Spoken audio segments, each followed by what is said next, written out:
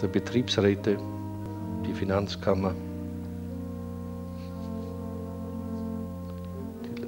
die, Leiterin des Diözesanarchivs,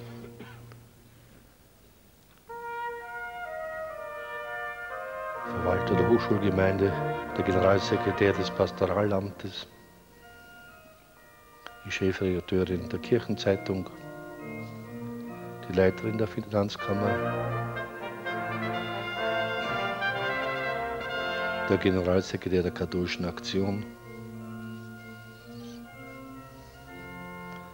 der Leiter der Medienstelle der Erzdiözese Wien,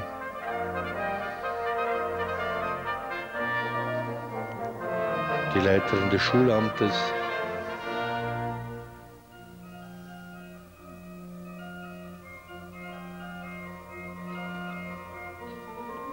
der Leiter des Kirchen, der Kirchenmusik,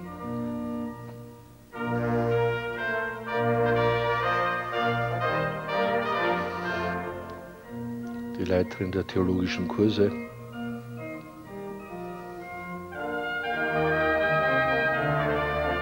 der Leiter der Datenverarbeitung der Diözese, Diözesanjugendstelle und Personalreferat.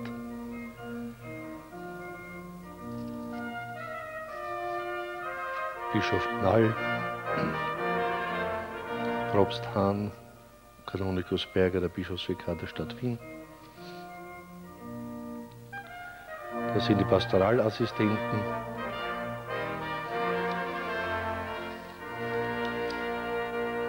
Zwei Religionslehrer, Vorsitzender der Berufsgemeinschaft und ein Diözesaninspektor. Metropolit Staikos von der griechisch-orthodoxen Kirche. Die Ordensschwestern, Vorsitzenden der weiblichen Ordensgemeinschaften und die Haushälterin des Erzbischofs.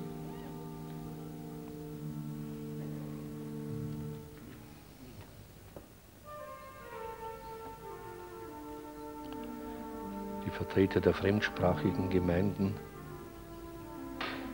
die es in der Erzdiözese gibt.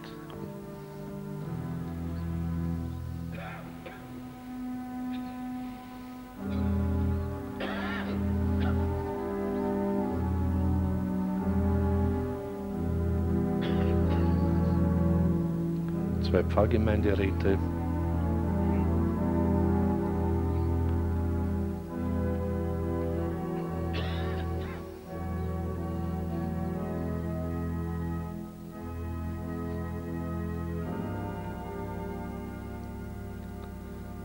Angestellte des Erzbischöflichen Rentamtes und seines Sekretariates. Der Bischof ist ja nicht Angestellter der Diözese, erhält kein Gehalt von der Diözese, sondern wenn eine Diözese gegründet wird, dann muss auch gesorgt werden, dass der Bischof von etwas leben kann. Und das nennt man das Rentamt. Pfarrliche Angestellte, hier Dommesner, eine Kindergärtnerin, die Vertreter apostolischer Bewegungen.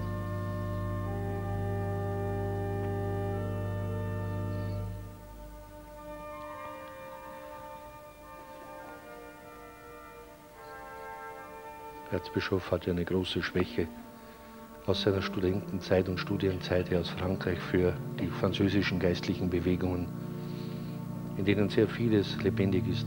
Ministranten von St. Stephan, als Vertreter der Kinder und der Jugend zwei Jungscher Kinder.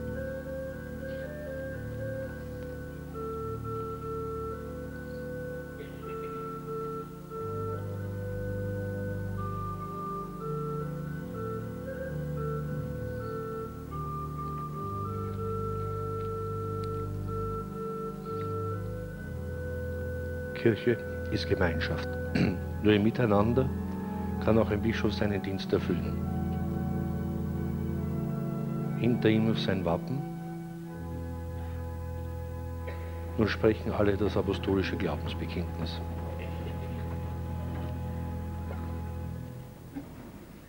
Ich glaube an Gott, den Vater, den Allmächtigen, den Schöpfer des Himmels und der Erde, und an Jesus Christus, seinen eingeborenen Sohn, unseren Herrn, empfangen durch den Heiligen Geist, geboren von der Jungfrau Maria, gelitten unter Pontius Pilatus, gekreuzigt, gestorben und begraben, hinabgestiegen in das Reich des Todes, am dritten Tage auferstanden von den Toten, aufgefahren in den Himmel, er sitze zur Rechten Gottes, des allmächtigen Vaters.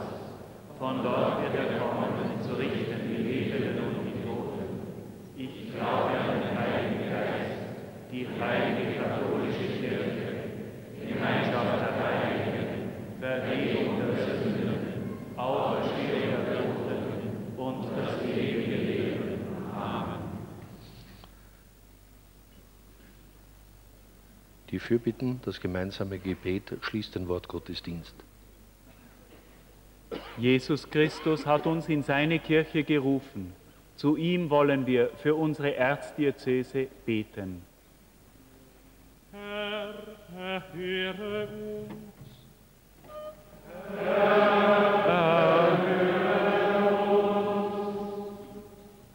Erfülle unseren neuen Erzbischof Christus mit den Gaben des Heiligen Geistes und schenke allen Seelsorgern freudigen Eifer, Zuversicht und Treue in ihrem Dienst. Wir bitten dich, uns beizustehen. Herr,